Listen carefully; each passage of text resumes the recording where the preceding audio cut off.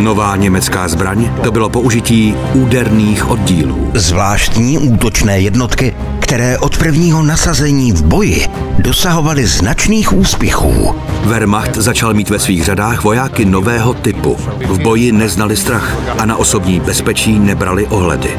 Britský dokument Úderné oddíly ve čtvrtek ve 20 hodin na CS History.